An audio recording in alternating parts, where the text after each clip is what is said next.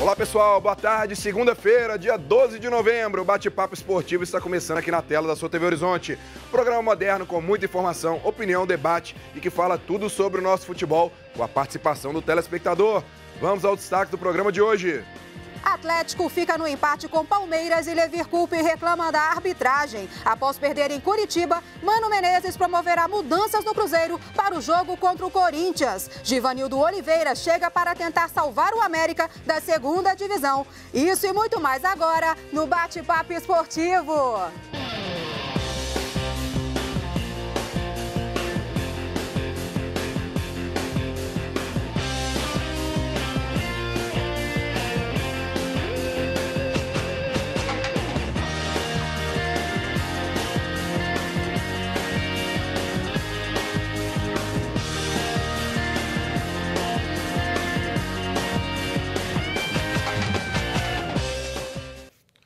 Seja bem-vindo ao nosso bate-papo esportivo e para fazer interação entre você de casa e os nossos comentaristas, Ana Cláudia Mascarenhas. Boa tarde, Ana. Convido o pessoal de casa para participar com a gente.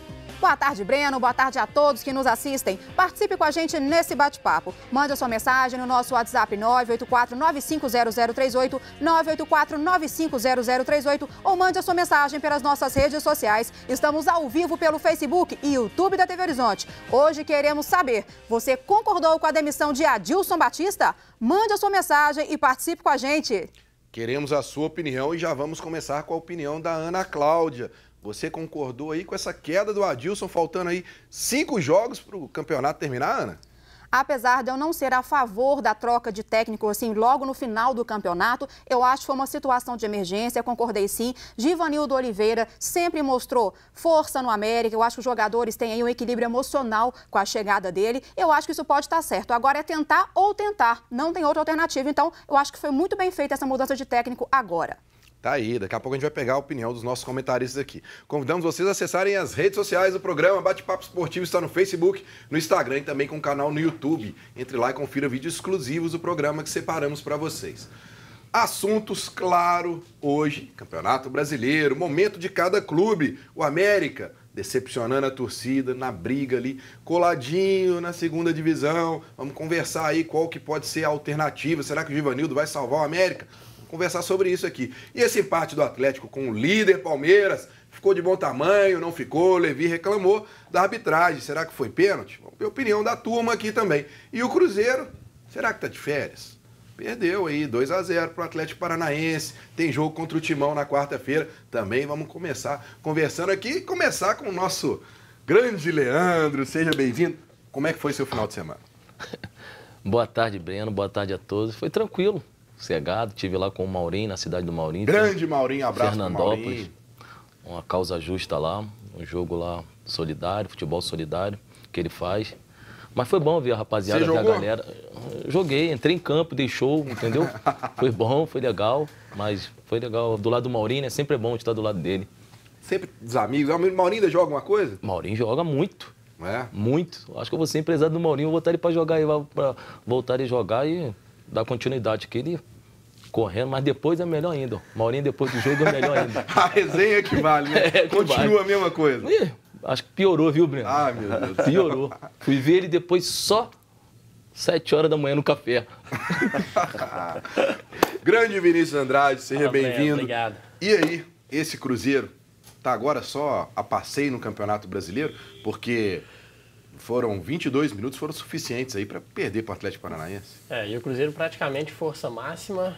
É, e o Atlético Paranaense também é uma ótima equipe, né? O Cruzeiro não jogou é, contra um time fraco, é um time que vem muito bem treinado pelo Thiago Nunes e bastou realmente 20 e poucos minutos para construir o placar. O Cruzeiro não teve poder de reação na partida, jogar lá nunca é fácil, mas o Cruzeiro já havia vencido o Atlético Paranaense esse ano pela Copa do Brasil e o Cruzeiro agora precisa recuperar, mas também não vai ter muito anseio nesse Campeonato Brasileiro, já que conquistou a Copa do Brasil e o ano do Cruzeiro já fechou. Grande Paulo Roberto Prestes. Capitão. Bom. O empate 1 a 1 foi um bom resultado para o Atlético contra o Palmeiras, o líder, ou não? Não, diante da circunstância, o Atlético fez um jogo bom, acho que jogou bem, partiu para cima, né? fez um jogo equilibrado na parte defensiva também, não sofreu tanto.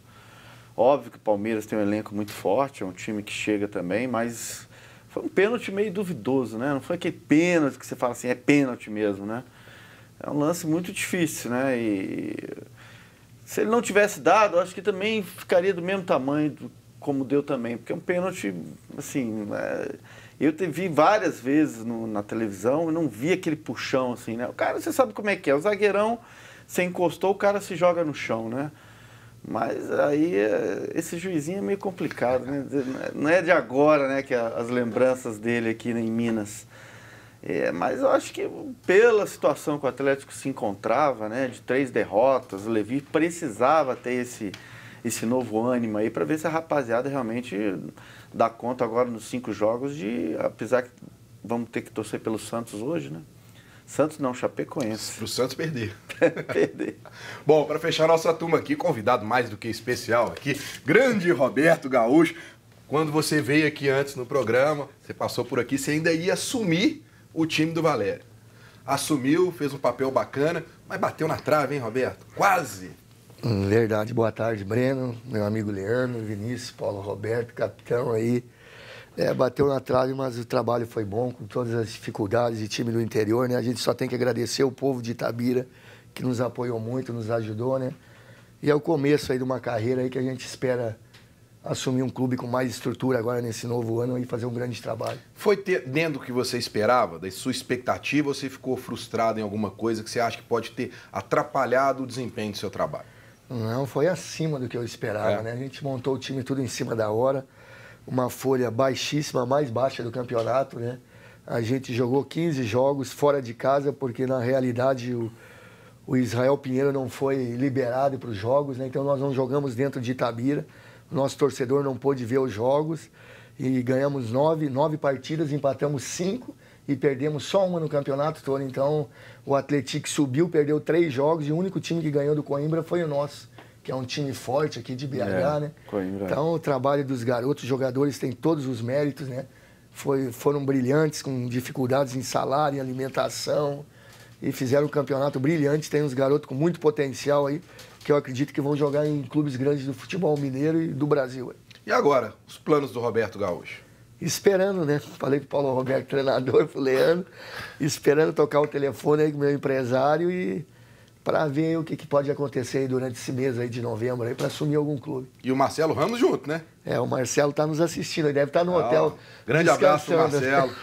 Grande abraço para ele aí. A dupla tá junta, firme e forte, né? É, o flecha azul, pô. Tem que dar uns puxãozinhos de orelha nele para ele dar uma segurada. Né? o treinador tem que dar um puxão de orelha até no auxiliar. No auxiliar. Tem que dar um. Boa. Bom, Agora vamos conferir os resultados dos jogos da 33ª rodada do Brasileiro.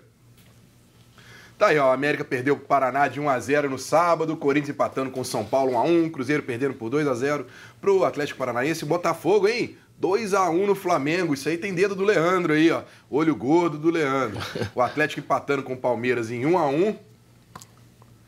Ó, o Bavi ficou no 2 a 2. O Ceará e o Inter, esse Ceará, hein? 1 a 1 com o Internacional. O Grêmio com o Vasco 2 a 1 Fluminense Esporte 0 a 0 Alguma coisa que te chamou muita atenção aí, Vinícius, que você acha que não estava dentro dos planos? É, de repente essa vitória do Botafogo, a gente pode pois dizer? Pois é, apesar de ser um clássico no Rio, mas eu não esperava a vitória do Botafogo, um time muito mais fraco que o Flamengo, e foi uma atuação péssima do Flamengo, que tira praticamente o Flamengo da briga pelo título. Bom, então agora vamos falar do América.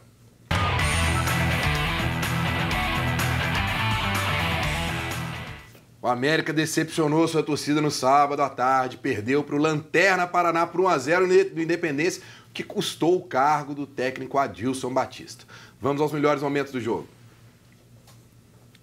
Pois é, Vinícius, a gente fica falando do América, tem que fazer o dever de casa, é só vencer. Aí chega num jogo contra o Lanterna da competição. O jogo que é aquele que você fala assim, ó, dá aliviada, dá uma respirada, porque os caras não têm mais nenhuma preocupação no campeonato.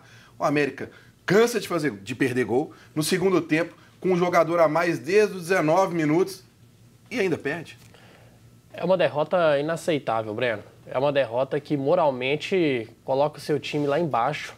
E apesar do América ainda ter chances matemáticas, para mim é uma derrota que crava o rebaixamento do América. Minha opinião. Porque perder para o Paraná, a gente falava que o Paraná é o time rebaixado, mas é o fiel da balança, porque o time que não vence o Paraná, o time que perde para o Paraná, dificilmente ele vai conseguir conquistar seus objetivos no Campeonato Brasileiro. O América dificilmente vai permanecer na Série A, porque se vence, o América estava fora, devido aos resultados de esporte e vitória. Então foi uma derrota realmente que é, vai doeu muito para o América, a torcida, a torcida compareceu, né, fez a parte dela e mais uma vez o América decepcionou. Ô Roberto, você acha que essa mudança de treinador, faltando cinco jogos, você que agora está nessa de ser treinador aí, então você está sentindo na pele o que é a pressão. O Divanildo chegando, você acha que tem uma chance de em cinco jogos ele poder mudar a história do América? Já na quinta-feira tem Internacional no Beira Rio. Difícil, pô. Tô na torcida pelo América, né? Time de Minas, pô mas demoraram muito para trocar, né? Para deixar o Adilson até o final, né? Mas o Givanildo é um cara rodado, experiente, teve muito sucesso no América, vai pegar o Internacional em Porto Alegre, é muito duro jogar lá dentro. Paulo Roberto sabe, é. O Inter tem banco, tem qualidade. É um, muito difícil o América. O Paraná Clube estava 18 jogos sem ganhar, para o time muito ruim do Paraná. Primeira vitória fora de casa. Era, esse jogo aí era o jogo que, que o América vai sentir muito quando acabar o campeonato. Leandro, Vinícius cravou aqui. Para ele já está rebaixado. E para você? É difícil. Missão do América é difícil. Eu acho que na quinta-feira que nós citamos isso. E o segundo jogo do Paraná e a segunda queda de treinador. Foi o Carpegiani no Vitória e agora o Adilson.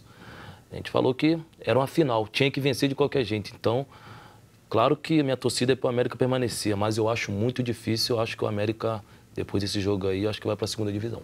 Agora, Paulo, o que a gente vê, e muito se comentou sobre isso, até o grande Roberto Abras mandar um abraço para ele, comentando sobre o próximo jogo do Atlético ser contra o Paraná, e ele falou assim: olha, os caras não têm responsabilidade nenhuma. Eles estão entrando livre, leve e solto. Eles querem provar que podem continuar aqui no Paraná.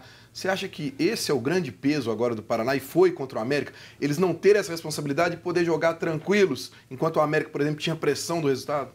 É, isso lógico que atrapalha um pouco, né? Atrapalha, fala parte do América, né? O jogador sabia que não poderia errar, que não poderia falhar e que uh, o América, né, mais uma vez provou que não tem ataque. O América, hum, sabe, cria algumas oportunidades, mas não tem aquele jogador que chega e que é um jogo decisivo e você tem que ter um matador, você tem que ter um cara que coloque a bola lá para dentro.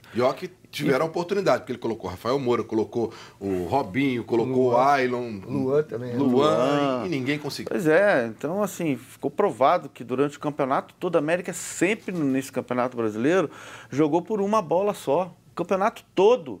Quer dizer, ficou nítido. Eu acho que houve, um, eu, no meu modo de ver, houve, lógico, um erro de planejamento de você enxergar que você precisa ter um jogador de mais qualidade. A América sabe disso, os dirigentes da América sabem que tem que ter dois, três jogadores, tem que ter um bom camisa 10, tem que ter um centroavante bom. Porque senão, cara, não adianta. Você bate, bate, bate, a bola não entra. Pois é, vamos falar mais do América no transcorrer do programa aí, mas agora eu tenho uma dica para você que procura um tratamento dentário de qualidade e com preço muito especial. Sorrisos apresenta Sorriso de Cinema. A água aqui não era muito boa. Os meus dentes foram ficando quebrados e bem manchados. Nunca sorria, fugia das fotos, tinha muita vergonha. Mas um dia eu resolvi, tomei uma atitude. Transformei meu sorriso. Eu vivi uma experiência sorrisos. E meu sorriso tá do jeito que eu sempre sonhei. Mude sua vida no Programa Nacional de Estética Odontológica, na Sorrisos. Então, pessoal, se vocês precisam de tratamento dentário, procure a Clínica Sorriso mais próximo da sua casa e faça um orçamento sem compromisso. Tá aí na tela o telefone e as várias unidades da Clínica Sorrisos. Vamos para um rápido intervalo e voltamos falando tudo sobre o Cruzeiro.